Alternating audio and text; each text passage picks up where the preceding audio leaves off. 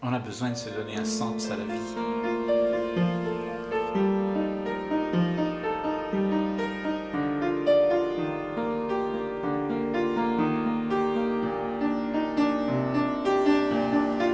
Dans le contexte que nous vivons, c'est normal, puisque la vie que nous vivons est répétitive, monotone. Et cela n'a pas de sens que de se réveiller tout le matin, aller se faire de l'argent et qu'on soit jamais satisfait, qu'on veut toujours plus, qu'on soit toujours dans la souffrance du manque. Donc effectivement, l'esprit a besoin de se donner un sens. Donc il en invente. Il invente que tout ça c'est normal, c'est le sens de la vie. On fabrique une vie avec un, un sens, avec un but, avec un projet qui vaille le coup de se réveiller le matin. Et on se donne de l'énergie pour poursuivre tous ces buts. Mais en fait, euh, vraiment, est-ce que la vie a un but?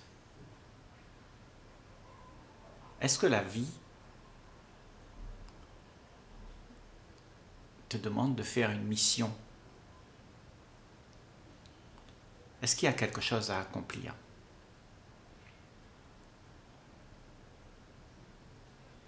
À mon sens, nous avons depuis des décennies euh, agi euh, de manière à ce que quand nous voulons quelque chose, on se bagarre. On a toujours euh, fait ça pour pouvoir arriver à ses fins, avoir la réussite dans la vie matérielle, pour pouvoir se positionner. On a toujours fait ça, on s'est bagarré pour pouvoir atteindre euh, le désir qu'on avait besoin. Psychologiquement, on tente de faire la même chose. C'est-à-dire que pour avoir un peu de joie, ben je vais me bagarrer aussi.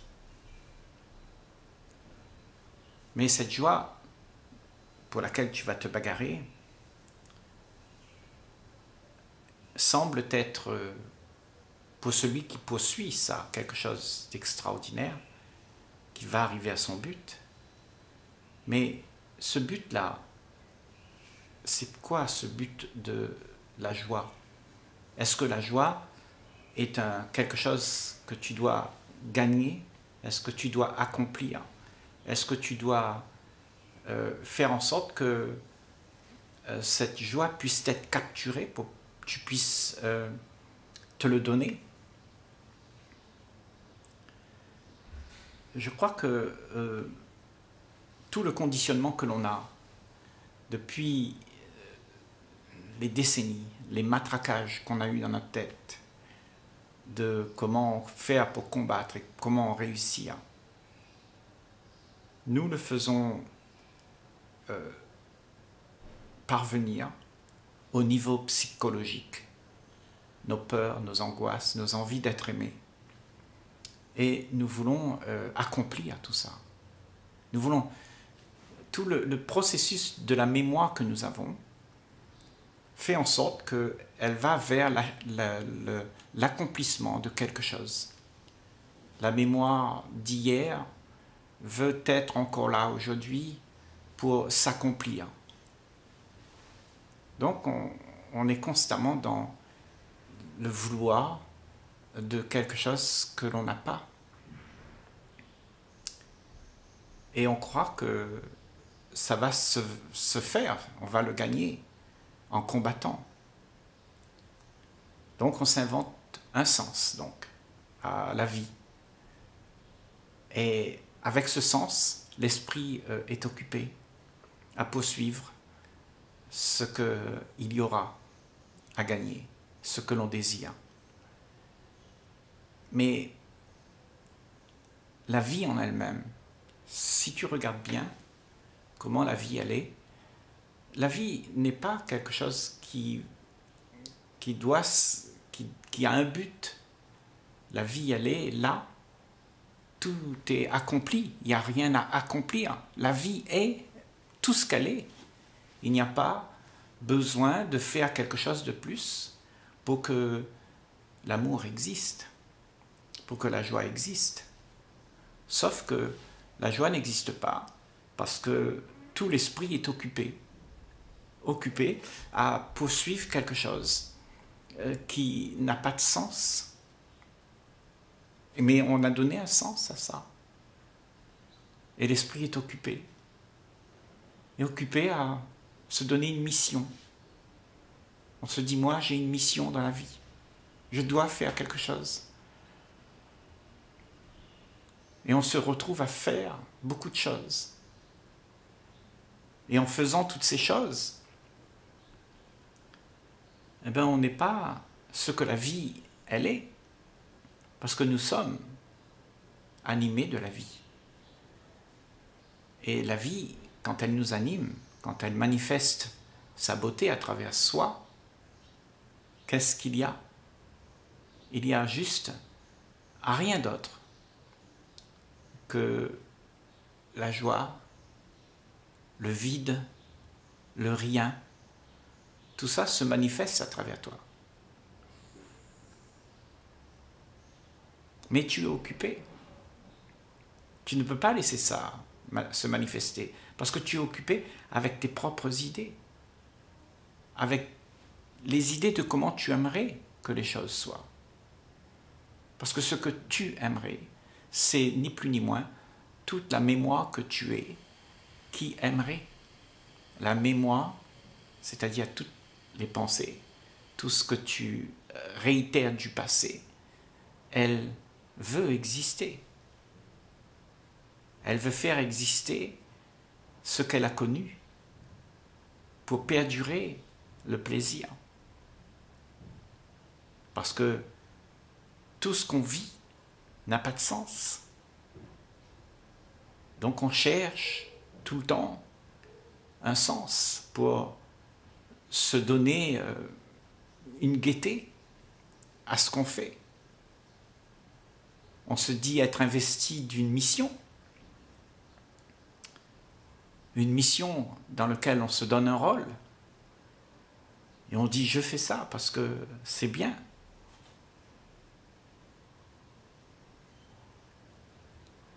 On est 7 milliards de personnes sur la Terre. Et tout le monde veut faire quelque chose.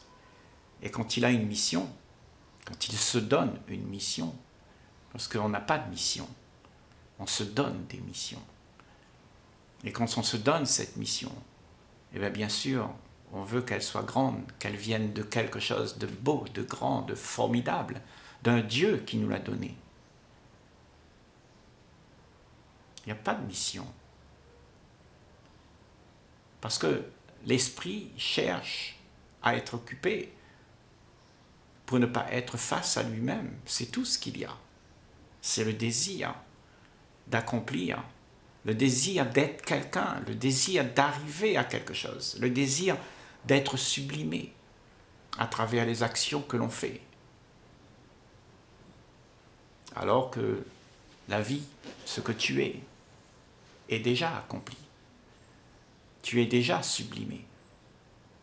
Mais tu es trop occupé pour le voir, pour vivre ça. Tu es occupé à devenir ce que tu aimerais être. Et c'est là toute la difficulté d'un monde dans lequel on vit. C'est que tout le monde cherche à devenir ce qu'il aimerait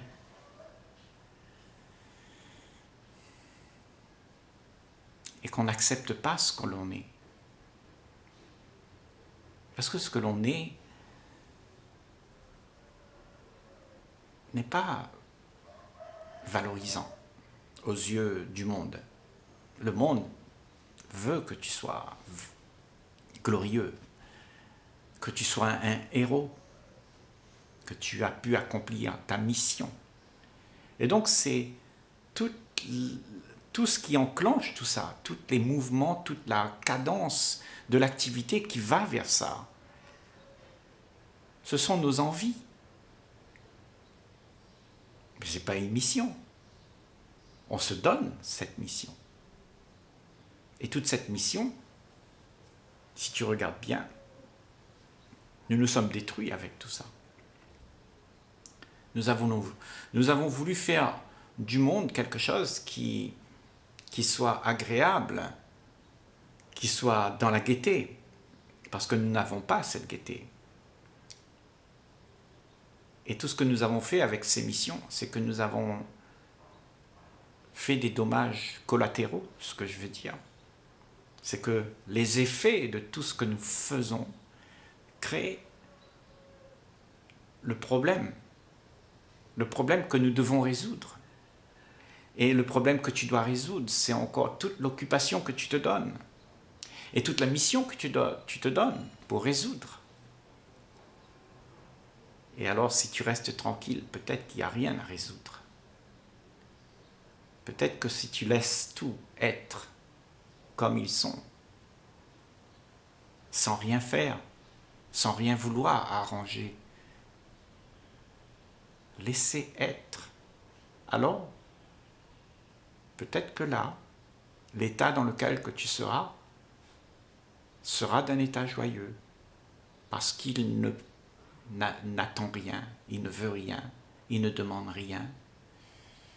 Il est tout simplement là, présent, à tout ce qui se joue. Et il ne s'enrôle pas dedans. Parce que c'est juste le fait de s'enrôler dans la vie que l'on se donne d'être et d'avoir qui fait que toute la tracasserie de l'esprit euh, se joue. Et en, ayant toutes ces tracasseries, on cherche du bonheur. C'est pour ça qu'il y a la notion du bonheur. Qu'est-ce que le bonheur dans ce monde? Tout le monde se pose la question. Est-ce qu'on a besoin de trouver ce bonheur? Et le bonheur qu'on trouve, c'est quoi? Du bien-être, l'argent qu'on a gagné, les trucs qu'on a accomplis, la position dans laquelle tu as pu te mettre. Est-ce que c'est ça le bonheur? D'avoir sa voiture, d'avoir sa maison, d'avoir pu accomplir tout ça C'est ce qu'on appelle le bonheur. Mais ce bonheur, il est futile il est éphémère. Et toujours, toute ta vie, il faudra que tu le cherches. Il faudra que tu le gardes. Il faudra que tu te bagarres pour pouvoir le faire rester en vie. Parce que tout ça meurt jour après jour. Tout disparaît. Il n'y a rien qui existe pour toujours. Et tu dois peut-être te demander, alors, c'est quoi qui existe pour toujours? Si c'est pas tout ça, est-ce que je dois aller voir? Ailleurs que tout ce que je cherche, c'est de la futilité Je suis enrôlé dans un mensonge C'est une question à se poser. Parce que si tu es enrôlé dans un mensonge et que tu t'aperçois du mensonge, que tout ça c'est éphémère et que tu cours après toujours du vent et que jamais tu es satisfait, alors il y a une question qui va venir. C'est quoi la vie? Qu'est-ce que je fais là? Qui suis-je?